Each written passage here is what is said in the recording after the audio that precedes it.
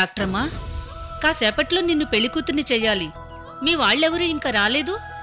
అమ్మ ఫోన్ చేసింది. వాళ్ళు బయలుదేరారంట. కాసేపట్లో వచ్చేస్తారు. డాక్టరమ్మా ఈ రోజు నీ పెళ్ళి. నేను అన్నీ తినేస్తాను. షుగర్ ఎక్కువ అవుతుంది బీపీ పెరుగుతుందని మీరు అడ్డు చెప్పొద్దు. అడ్డు చెప్పనులే. కానీ మందులు మర్చిపోకుండా వేసుకోవాలి. ఒక రోజుకేం కాదు. అలాగే అమ్మా.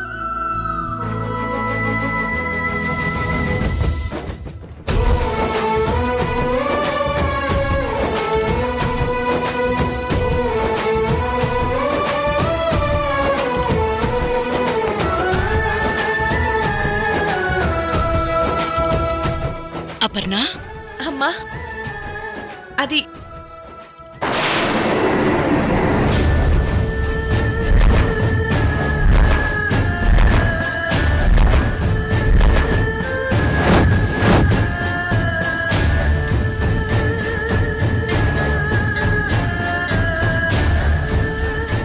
హాయ్ అపర్ణ.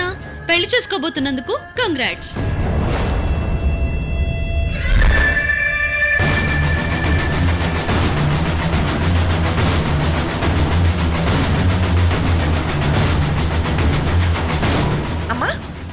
ఈవిడి గారు ఎందుకు వచ్చింది?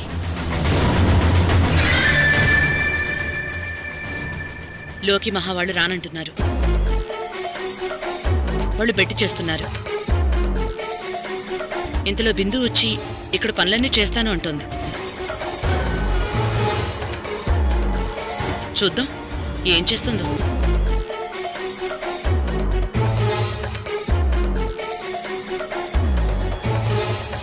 చేస్తానంటీ మీరు ఊహించినట్టు పెళ్ళి పనులు చేస్తాను. చెయ్యి.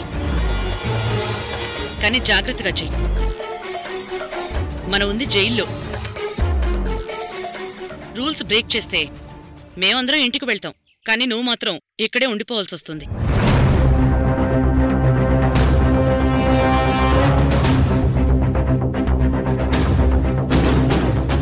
ఆ థ్యాంక్ యూ బిందు.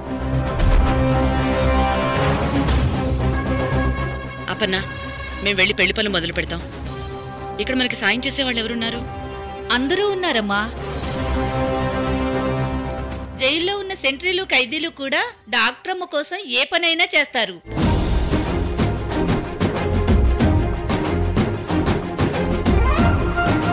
మంచిది. ముందు అప్పనన్ని పెళ్ళి కూతురుని చేద్దాం. పదండి.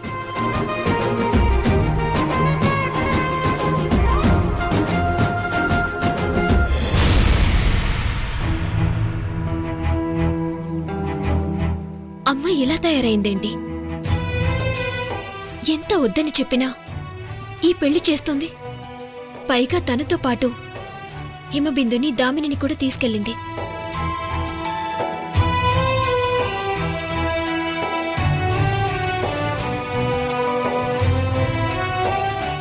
మహా అమ్మ గురించి ఆలోచిస్తుందనుకుంటా. దిగులుగా కూర్చుంది.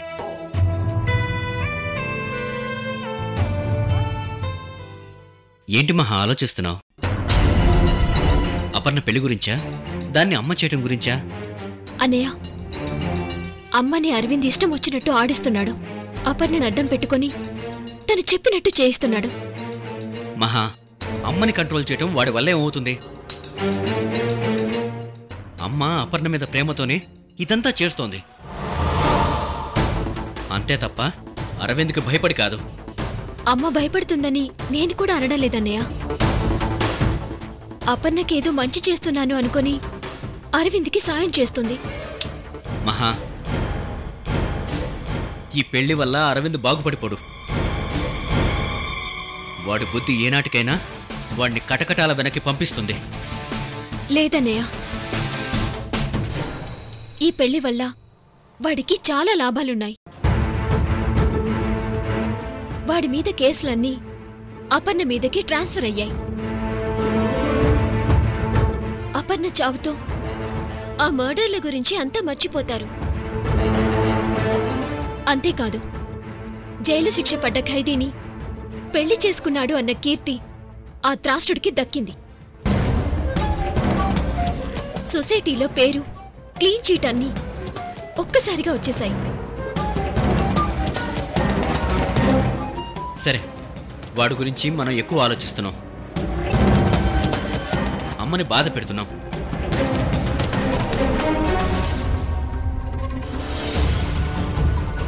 నా లైఫ్లో ఏ విషయంలోనూ అమ్మని ఎదిరించలేదు. మొదటిసారిగా ఈ పెళ్ళి విషయంలోనే తనని ఎదిరించాను.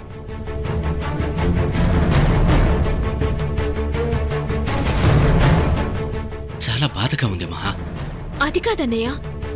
అమ్మ కూడా మనకంటే అపన్నకే ఎక్కువ విలువిస్తుంది. మనం వద్దన్నా ఈ పెళ్ళి జరిపిస్తుంది. ఇంతవరకు నా మాట ఎప్పుడు కాదనలేదు తెలుసా? ఫస్ట్ టైం నేను అనే మనిషినే ఇంట్లో లేనట్టు బిహేవ్ చేస్తోంది. మహా కంట్రోల్ యువర్ సెల్ఫ్ మనం అమ్మతో గొడవ పట్టలేదు చిన్న అభిప్రాయ భేదం వచ్చి ఈ పెళ్ళికి దూరంగా ఉన్నాం అంతే. అది కూడా నాకు ఇష్టం లేదన్నయ్య.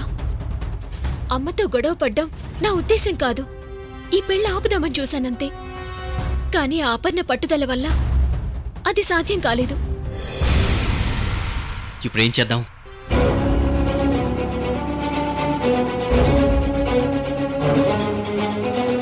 అమ్మని బాధ పెట్టడం నాకిష్టం లేదు. నాకు తప్పేలా లేదు.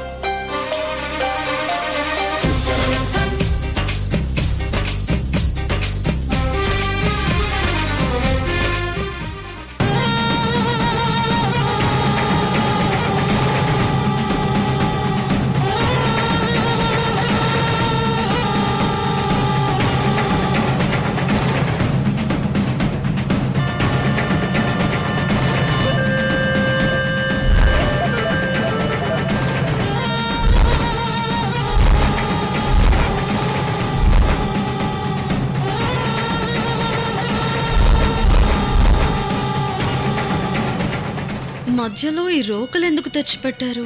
ఎవరిదైనా తల బద్దలు కొడతారా?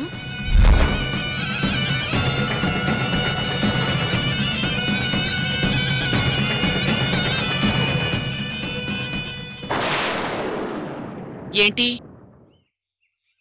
ఆ రోకలి వంక అలా చూస్తున్నావు?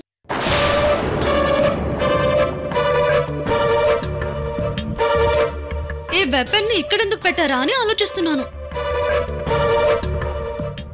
అది వెపన్ కాదు రోకలి. ఒకప్పుడు దాంతోనే వడ్లు దంచి బియ్యంగా మార్చేవారు. ఆ దంపుడు బియ్యం తినే అందరూ ఆరోగ్యంగా ఉండేవారు. ఇప్పుడు పాలిష్ బియ్యం తిని రోగాలు తెచ్చుకుంటున్నారు. అది సరే ఆంటీ. ఆ రోకలిని ఇక్కడికెందుకు తెచ్చారు? ఆ రోకలి దానిలక్ష్మి గుర్తు. భూదేవి కడుపు పండినట్టే పెళ్ళి కూతురు కడుపు కూడా పండాలని రోకల్తో ఆమె కడుపుపై మెల్లగా పొడుస్తారు. అబ్బో దీంట్లో చాలా అర్థం ఉందా ఆంటీ? ఒకప్పుడు ప్రజలకి పిల్లలే ఆస్తి. ఎంతమంది పిల్లల్ని కంటే అంత గొప్పగా చూసుకునేవాళ్ళు. అందుకోసమే ఇలాంటి ఆచారాలన్నీ పాటించేవాళ్ళు.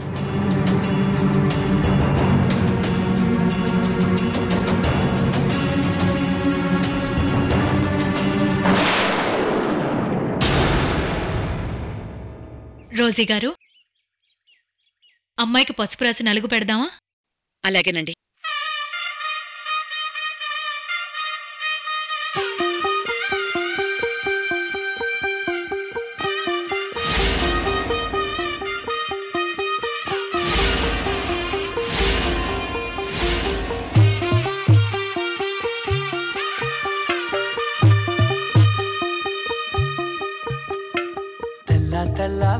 వెలుగు రేఖలా పచ్చ పచ్చ పచ్చి మట్టి బొమ్మలా అల్లి బిల్లి వెన్న పాల నురగల. అచ్చ తెలుగు ఇంటి పూల కొమ్మలా దేవదేవుడే పంపగ ఇలా దేవతే మా ఇంట అడుగే పెట్టెనంట బ్రహ్మ కళ్ళలో కాంతులే. మా అమ్మలా మా కోసం మళ్ళీ లాలి అపర్ణ నిన్న దేవుడే రక్షించాలి.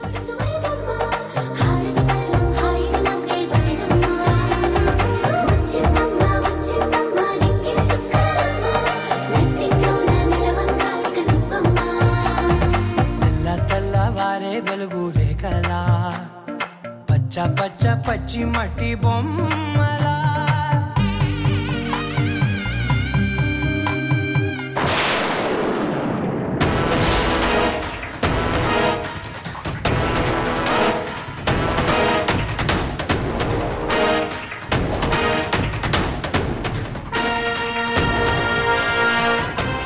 ఆంటీ నేను కూడా ఇలా చేయొచ్చా? చేయించు అంటే పెళ్ళి కాని అమ్మాయిని కదా ఆంటీ అందుకని అడిగాను. నిజానికి ఈ పని ముత్తైదులే చేస్తారు. కానీ నువ్వు అంతలా ఇష్టపడుతున్నావు కదా. చెయ్యి.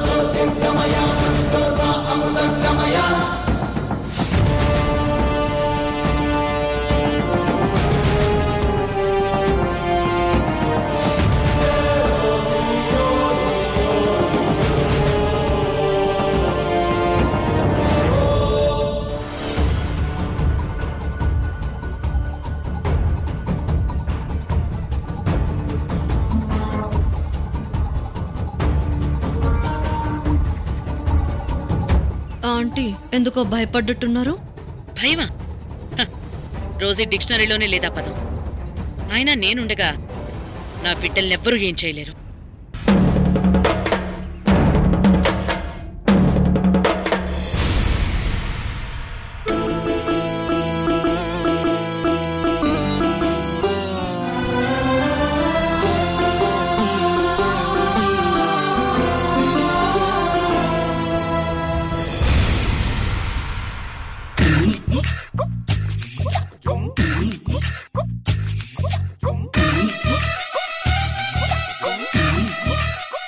అమ్మో వీళ్ళు నన్ను మర్చిపోయారనుకున్నాను. కానీ చంపడానికి మళ్ళీ ఎవరినో పంపించారు.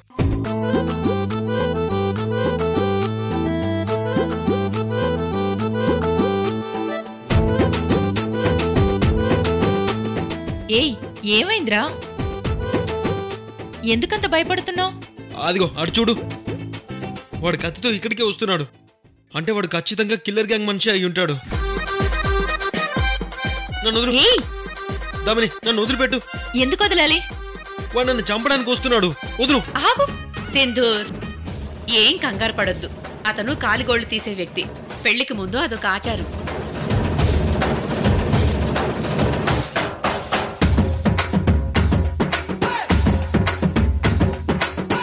అయ్యా కాలిగోలు తీయాలి.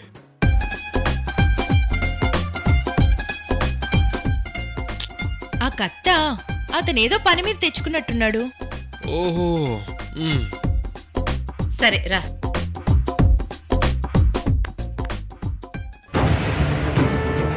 ఆ, ఆంటీ నెక్స్ట్ కార్యక్రమం ఏంటి? కాలిగోళ్ళు తీయడం. అదిగో ఆ మనిషి వచ్చాడు. ఆంటీ ఈ కాలి గోళ్ళు తీయడం వెనుక కూడా ఏదైనా పరమార్థం ఉందా? ఇవే కాదు. పెళ్ళిలో జరిగే అన్ని తతంగాల్లో ఏదో ఒక పరమార్థం ఉంటుంది. అమ్మా కాలిగోళ్ళు తీయమంటారా? కానివ్వండి.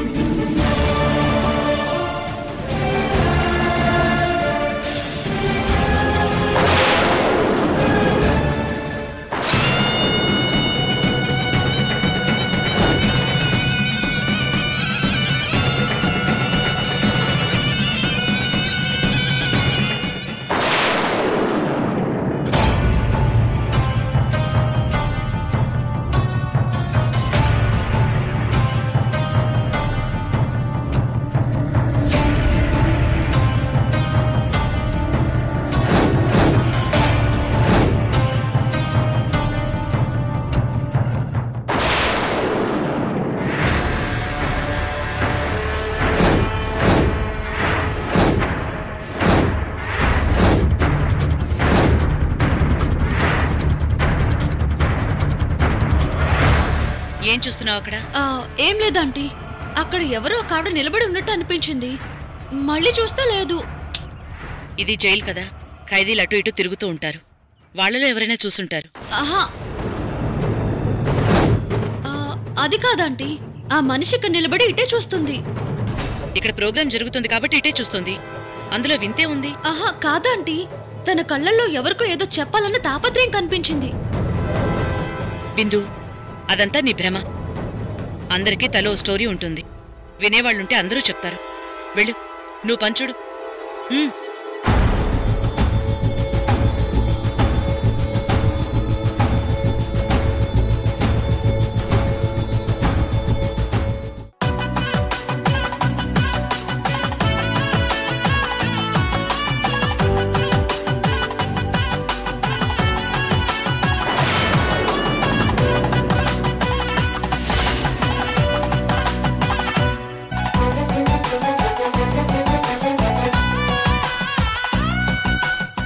ఏంట్రా అలా చూస్తున్నావు? మన పెళ్ళి ఎప్పుడవుతుందా అని చూస్తున్నా. నా పెళ్ళి సంగతి పక్కన పెట్టు నీ పెళ్ళైతే నేను చేస్తాను. ఇప్పుడు చేయనా? వద్దులే. నువ్వే పెళ్ళి చేస్తావో నాకు బాగా తెలుసు.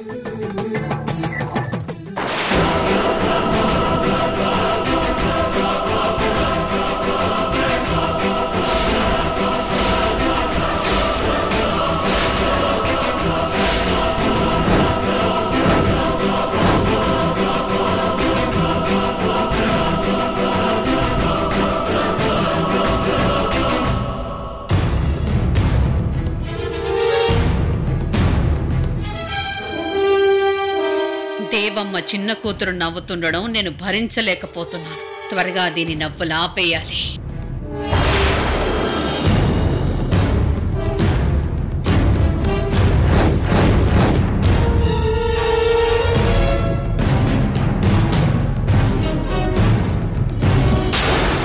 అందరూ ఉన్నారు. కానీ చెల్లెళ్ళు అన్నయ్య మాత్రం రాలేదు. వాళ్ళకి నువ్వు అరవింద్ని పెళ్ళి చేసుకోవడం ఇష్టం లేదు. అందుకే రాలేకపోతున్నారు. అయినా వాళ్ళ కోపం ఎంతసేపులే? వెళ్దాం అనుకుంటే క్షణాల్లో వచ్చేస్తారు. నాకు అలా అనిపించట్లేదా ఆంటీ? వాళ్ళు అపర్ణ మీద చాలా కోపంగా ఉన్నారు.